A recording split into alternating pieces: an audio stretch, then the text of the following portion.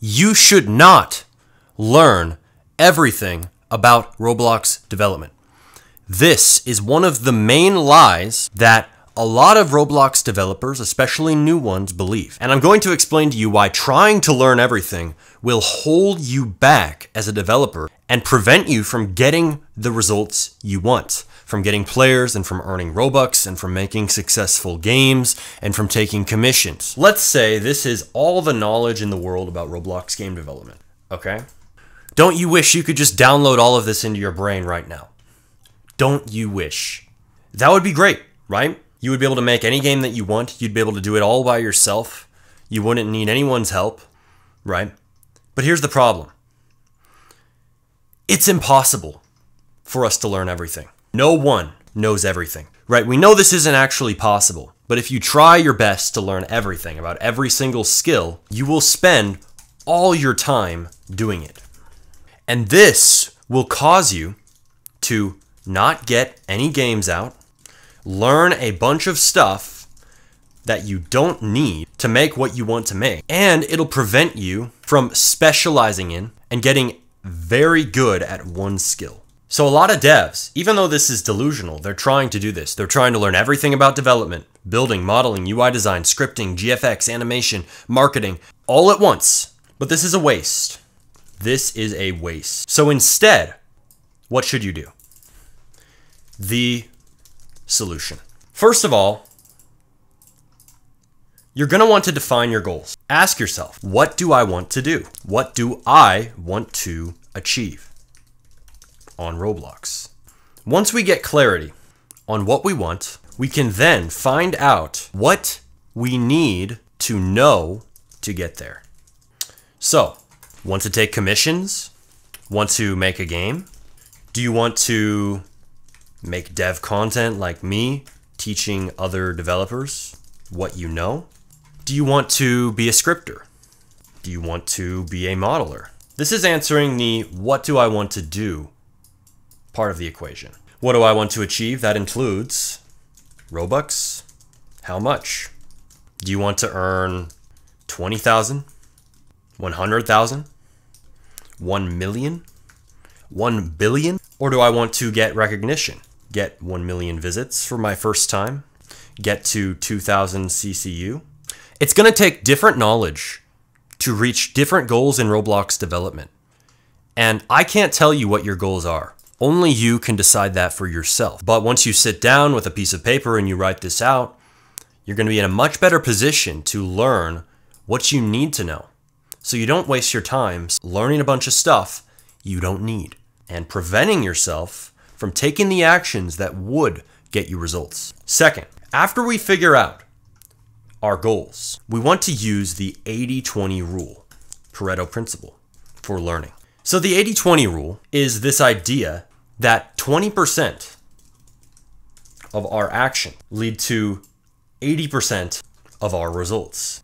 The same goes for learning. 20% of what we know leads to 80% of our results. With this in mind and knowing our goals, we can stop trying to learn everything and start learning only the 20% of information we need to reach the results we want. This is our high leverage knowledge.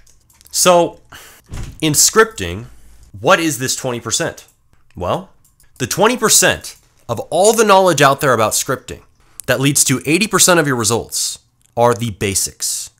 The basics lay the foundation for everything else. If you understand basic concepts like variables, functions, how to write code, put it together, the syntax of Roblox Luau, you can then use outside resources like the Roblox documentation and YouTube tutorials, courses like mine, Scripting Secrets, ChatGPT, to fill in the gaps of your knowledge at any given time whenever you're writing scripts and need to know something. So if you're writing a data source system, say you haven't done that before, you can go to ChatGPT or you can go to YouTube and ask how to do that. You can go and figure it out from outside sources, right?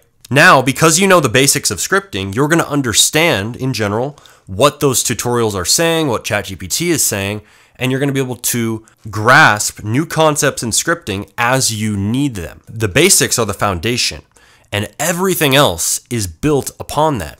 Your intermediate and your advanced scripting skills are all built on top of that foundation. That's why the basics are the 20% that bring you 80% of your results. So, this is one of the most freeing things you can learn about Roblox game development, or really anything, because now we know that we don't have to know everything. We can learn 20% of all the information out there, and for scripting, for example, that's the basics, the core concepts. Learn the beginner topics, and you can go and figure out how to make any script effectively from there. You can learn all the other concepts. You can learn tween service. You can learn object oriented programming. You can learn C frame. You can learn different things using the foundation of the basics as a tool to understand any other topic of scripting. Because those basics really do drill into your brain how programming works, and that makes it a lot easier to understand and intake new concepts. But now that we know that we don't have to learn everything, we can use the 80 20 rule to think about okay, what are the results I want? What games do I want to make? Do I want to take commissions? Do I want to make entire games? Right? And then we can filter through the lens of our goals all the information out there and decide what we need to learn versus what we don't. And what we need to learn, that's the 20%. 80% of that information out there is unnecessary. You don't need to know all the advanced stuff in scripting. I don't know every single thing about scripting. I don't know every single thing about development. And yet I'm still able to make games. I'm still able to teach people on YouTube. And I'm still able to get the results that I get. No developer knows everything. Get that idea out of your head. Perfectionism is a trap. And oftentimes, we as devs, we as scripters, we as builders, we as modelers, we as UI designers, we fall into the trap of thinking we need to be a perfect developer. We need to be somebody who knows every last detail of our topic or of development as a whole. But we have to remember this is an impossible target. You can never know everything.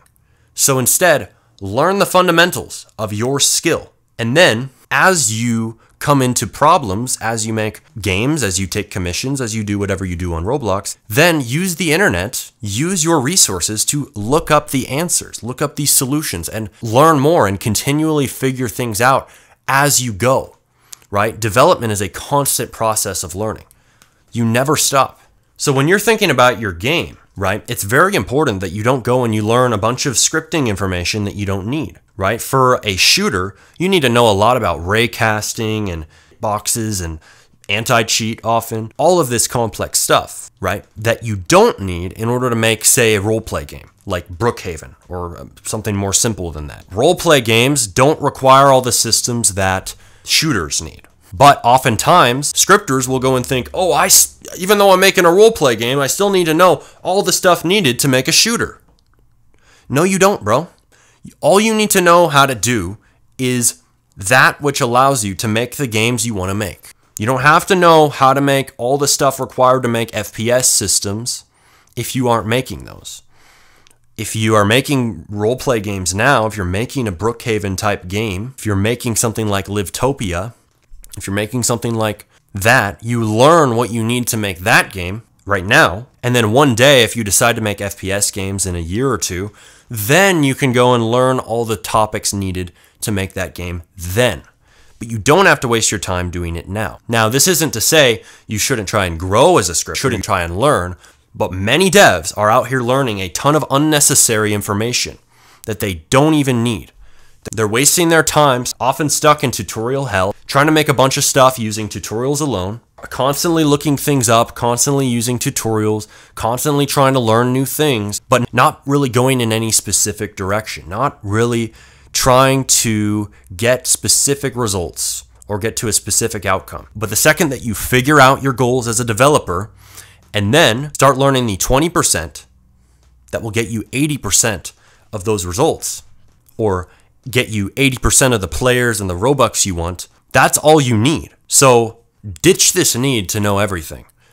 Figure out what your goals are and then have laser like focus on achieving those ends and then using and learning only the knowledge you need in order to get there. That way, your time and your energy are being put into the actions that drive you forward rather than on overconsumption of information, over practicing, and doing things that just are not pragmatic, right? We as devs, we've got to be pragmatic. Most devs are not pragmatic enough. I care about results over perfection.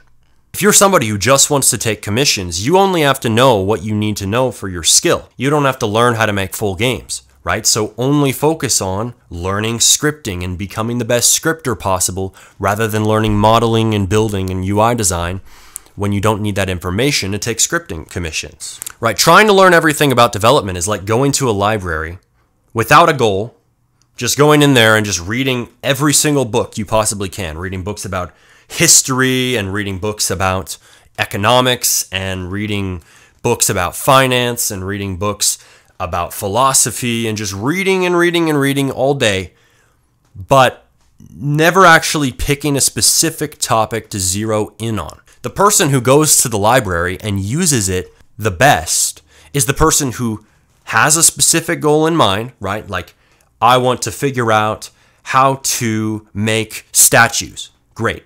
Then they go into the library, they go to the specific aisle, and they find the specific book that is on sculpting statues. And they take that book or a few books on the same topic, they check out, and they leave, right? That person is extremely efficient and they're going to get more results than the person trying to learn everything. The person trying to learn everything might come out knowing a lot about a lot of different topics, but they're spending all their time studying at the library and they are stuck in this mental cloud, this mental fog of, I don't know what to do, I don't know what to learn, I just want to learn everything on the planet. I'm sorry, man, you will never be a walking encyclopedia who knows everything about every topic. And honestly, you shouldn't, right? You want to learn as much as you can in life, but there's so much information out there that it's not worth trying to learn everything. You're better off setting some specific goals for yourself and then only learning, only consuming what helps you to get to those goals. And then after you know what you need to know to reach your goals, like make your game, stop. Stop learning and focus on action over intaking information. There's so many devs out there who think this, and I know this because I've been in your shoes, right? I have assumed, oh, I need to know everything as a scripter. No, you don't. You just need to know what you need to know to make the genre of games you want to make. Or if you're a builder and you only want to make low poly builds, you don't have to learn how to make PBR textures in Substance Painter. You don't have to know how to make realistic builds. You just have to know how to make great low poly models in Blender, and you have to do that to the best degree you possibly can. And that developer is going to get ahead of the developer who's trying to learn all of the different building styles at once. Now, that person who just makes low poly builds, it doesn't mean that they are never going to learn how to make realistic builds, but that when their goals are just to be somebody who takes low poly commissions on X, right, they should just focus on that until they've mastered that and until they've become a pro and a very respected figure in doing low poly commissions, right? Once they have gotten very good at making those low poly simulator maps, once they've taken a lot of commissions there, once they've made dozens of maps and leveled up their skill and watched all the tutorials they could about becoming the best low poly builder possible, and they're happy with their skill level, then they can start to graduate to add in other building styles to their repertoire of knowledge and skill. They can go learn how to make realistic builds. They can go and learn Substance Painter and learn how to make PBR textures. They can go and learn how to make stud builds they can go and learn how to make medium poly builds, kind of that style from 2017, right? But learning that all at once when they didn't need it for their goals at the time would have been a waste. They wouldn't have been able to focus as much on their commissions. They wouldn't have been able to earn 200,000 Robux if instead of spending five hours a day on commissions, they were spending one hour a day on commissions and four hours a day watching tutorials on YouTube trying to figure out how to make realistic forests and make their game look like it was made in Unreal Engine 5 when they're just making low poly Roblox maps for people on X. They don't need to know how to do that. And it's okay that they don't know how to do that because that's not what their goal is. A lot of you guys have noticed this right now. Me as a YouTuber, I am following the 80-20 rule in something with my content. Can you guess what it is? I'm focusing on the 20% of actions that lead to 80% of my results.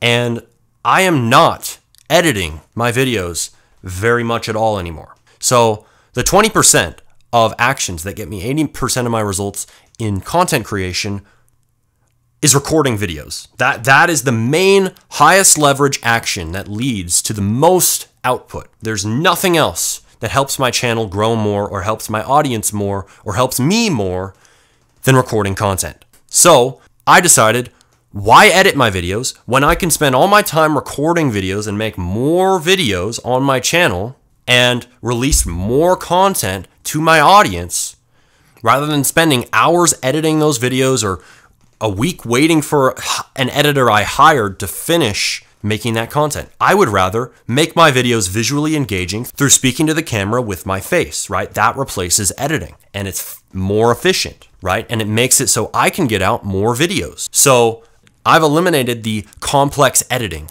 part of the equation from my video process. That's part of the 80% of actions that don't really impact my results that much. I'm still getting plenty of views. I still have videos that do well. I still have outliers. I still have people gaining a lot from my content, even though I'm not editing my videos super intensively now. And I actually have people learning more because now I'm sitting down and I'm recording videos and I'm making them much more unfiltered and I am giving a lot and a lot of information. I'm making them much longer and I'm adding in these cool diagrams that a lot of you guys really enjoy. Think it makes it much more educational when you have a visual with it. I agree.